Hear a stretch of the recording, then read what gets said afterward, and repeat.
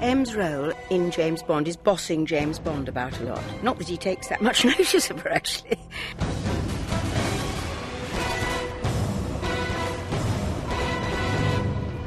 It nevertheless consists of lots of the scenes I've already done. There's very, very few lines that I didn't actually say in Casino Royale or Quantum Solace.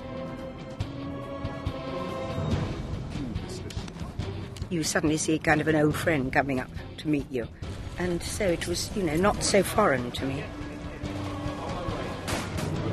Hello.